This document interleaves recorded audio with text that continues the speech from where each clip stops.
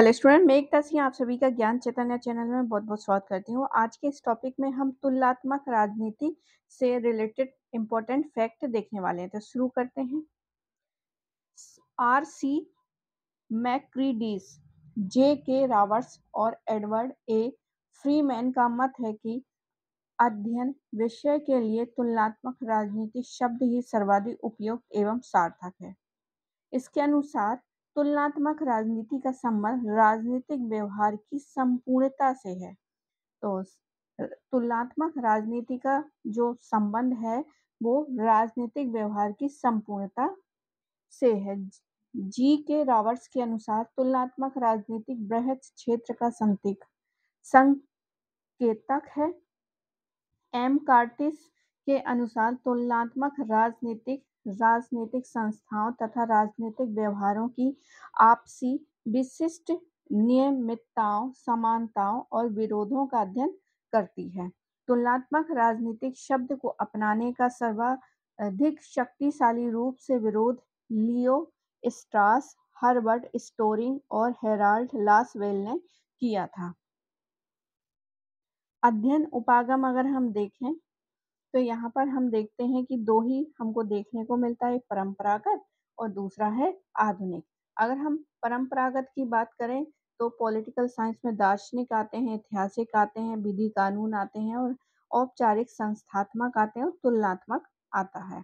वहीं हम आधुनिक उपागम की बात करें तो वैज्ञानिक हो गया, अनुभवनात्मक हो गया, व्यवहारवादी, व्यवस्थावादी हो गया, संरचनात्मक प्रकार्यता प्रकार्यात्मक हो गया, निर्णय निर्माण हो गया, संप्रेषण हो गया और अंत अनुशासनात्मक।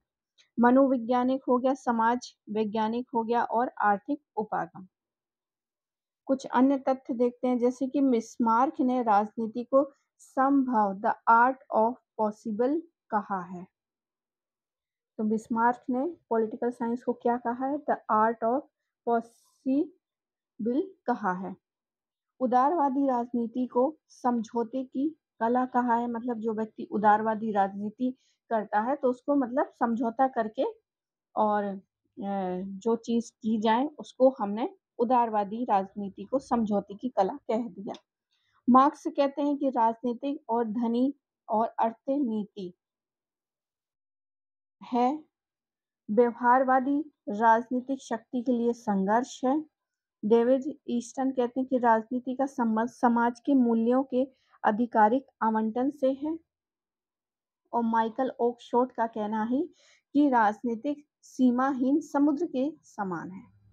तो ये कुछ इम्पोर्टेंट हैं जो कि पॉलिटिकल साइंस या राजनीति के बारे में बताते हैं। अब हम यहाँ पर व्यवहारवाद के बारे में देखते हैं। तो छोटे छोटे टॉपिक हैं। इसको कवर करते हैं। व्यवहार या व्यवहारवादी उपागम, राजनीतिक तथ्यों की व्याख्या और विश्लेषण का एक विशेष तरीका है, जिससे, जिसे द्वितीय महायुद्ध के बाद अमेरिकी राज्य वैज्ञानिकों द्वारा विकसित किया गया। यद्यपि उसकी जड़ें महायुद्ध के पहले भी ग्राहम, वालास और ब्रेडले आदि की रचनाओं में देखी जा सकती हैं यह उपागम मुख्यतः अपना ध्यान राजनीतिक पर केंद्रित करता है और इस बात का प्रतिपादन करता है कि राजनीतिक गतिविधियों का वैज्ञानिक अध्ययन व्यक्तियों के राजनीतिक व्यवहार के आधार पर किया जा सकता है। मतलब एक व्यक्ति है, उसका क्या व्यवहार है? अगर वो राजनीति में है तो उसका जो व्यवहार है तो राजनीति व्यवहार के आधार पर किया जा सकता है। तो यहाँ पर वैज्ञानिक अध्ययन बताया है कि वैज्ञानिक अध्ययन अगर हम कर सकते हैं पॉलिटिकल साइंस में तो व्यक्तियों के जो उनका व्यवहार है, उसी के आधार पर कर सकते हैं। व्यवहारवाद अनुभवनात्मक, क्रियात्मक है तथा इसमें व्यक्तिनिष्ठ मूल्यों और कल्पनाओं आदि के लिए कोई स्थान नहीं है।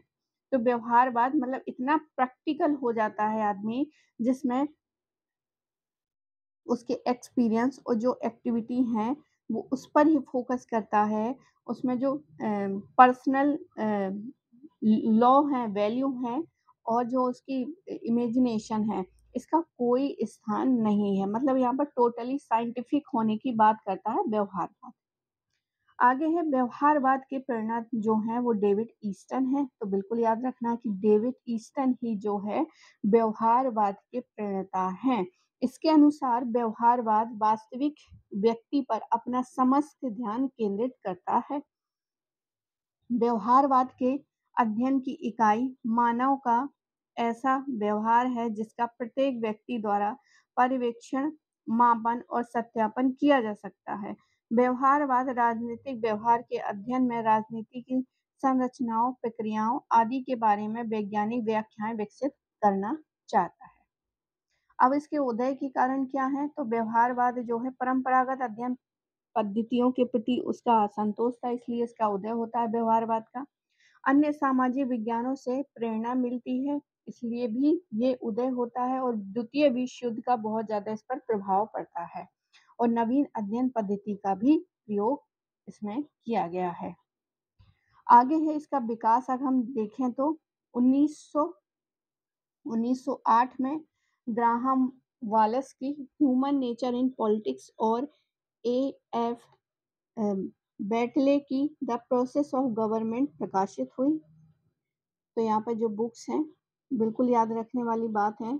यहाँ पर आगे है 1925 में चार्ल्स मेरियम की न्यू एस्पेक्ट्स ऑफ़ पॉलिटिक्स। तो ये कुछ इम्पोर्टेंट फैक्ट हैं जो कि बुक्स के माध्यम से इसका डेवलपमेंट होता दिखता है। तो आगे देखते हैं, व्यवहारवाद का अधिकारी विद्वान जो है डेविड ईस्टन है।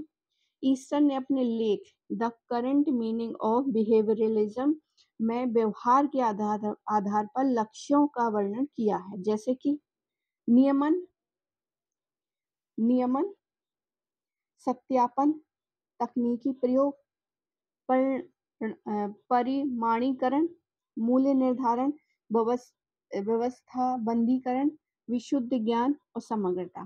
तो आप देख रहे हैं तो बिल्कुल जो व्यवहारवाद है बहुत ही प्रैक्टिकल है अनुभवात्मक है इसलिए उसने जितनी भी साइंस वैज्ञानिक तरीके से उसने किया वैज्ञानिक, विज्ञान में जो साइंस में चीज़ें ज़रूरी होती हैं, उसी तरह ये सोचता है। और उसी को हम क्या कहेंगे? व्यवहारवादी। अब आलोचना कौन है यहाँ पर? तो आलोचना किस प्रकार होती है व्यवहारवाद की? तो अत्यधिक शब्दा अम्बडर है। राजनीतिक व्यवहार की धारणा गलत है ये। राजनीतिक विज्ञान, विशुद्ध विज्ञान नहीं है। मतलब इसमें साइंस भी है और ये आर्ट भी है, दोनों है। मतलब ये प्योर साइंस नहीं हो सकता तो इसलिए भी इसकी आलोचना की जाती है। पद्धतियों पर अत्यधिक बल देता है, मूल्य निरपेक्षता संभव संभव नहीं है, अत्यधिक खर्चीली पद्धति है, अन्य पद्धतियों के महत्व को नकार देता है। व्यवहारवाद नीति निर्धारित, नीति निर्धारण में के परिप्रेक्ष्य में भी इसकी आलोचना होती ये हो गया। अब इसकी उपयोगिता देखते हैं। तो व्यवहारवाद की उपयोगिता मतलब समाज में या राजनीतिक उसमें क्षेत्र में व्यवहारवाद की क्या उपयोगिता है? तो व्यवहारवाद के कारण ही आज राजनीति विज्ञान को नवीन राजनीति विज्ञान कहा जाता है। मतलब अगर व्यवहारवाद नहीं होता तो राजनीति को जो है हम आठ ही मानते ये भी यहाँ पर कहा गया है। आगे है। व्यवहारवाद के प्रयासों के परिणाम स्वरूप ही संस्थाओं के औपचारिक अध्ययन को चुनौती दी गई है और अब व्यक्ति, प्रक्रिया तथा राज्य, राजनीति विज्ञान के अध्ययन के केंद्र बन गए हैं। इसके तथ्यपूर्ण निष्कर्षों ने नीति निर्माण में योगदान देकर राजनीतिक शास्त्र को सामाजिक इंजीनियरिंग यानी सोशल इंजीनियरिंग का बनाने की दिशा में एक कदम आगे बढ़ाया है। अब इसकी कुछ उपयोगिताएँ देख लेते हैं यहाँ पर। तो व्यवहारवाद एक पुनः निर्माण प्रक्रिया है, जिसमें राज्य विज्ञान को नई मूल्य, नई भाषा, नई पद्धति, उच्चतर स्थिति और सबसे बढ़कर अनुभवनात्मक वैज्ञानिक प्रदान, वैज्ञानिकता प्रदान की है।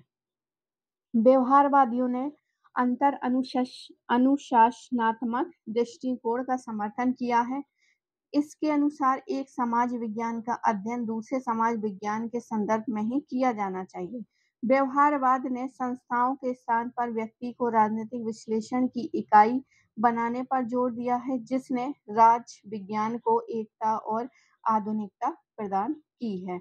व्यवहारवाद ने अपने वैज्ञानिक अनुभव के माध्यम से नवीन दृष्टि, नवीन पद्धतियाँ, नए मापन एवं नूतन क्षेत्र प्रदान किए हैं। अब यहाँ से जो है उत्तर वैदिकवाद यहाँ से शुरू हो जाता है तो यहाँ से हम अगले वीडियो में यहाँ पर करेंगे। तो आई होप आपको ये राजनीति विज्ञान का व्यवहारवाद जो है, ये समझ में आया होगा। तो पूरा वीडियो देखने के लिए आप सभी का बहुत बहुत धन्यवाद। मिलते हैं अगले वीडियो में।